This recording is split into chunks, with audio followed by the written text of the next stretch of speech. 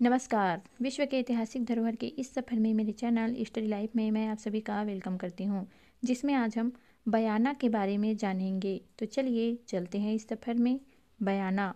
बयाना राजस्थान के भरतपुर ज़िले में स्थित है। मध्यकालीन भारत में यह आमेर व आगरा के निकट तथा व्यापारिक मार्ग पर होने के कारण इसका बहुत अधिक महत्व था। बयाना उच्च कोटि के नील उत्पादन के लिए प्रसिद्ध था। यहाँ से गुप्तकालीन सिक्के भी प्राप्त हुए हैं, जो यह साबित करते हैं कि यहाँ गुप्त शासकों का शासन भी रहा। राणा सांगा और बाबर के मध्य खानवा का युद्ध पंद्रह ईस्वी में बयाना के निकट ही हुआ था। यहाँ से बाबर का अभिलेख भी मिला है।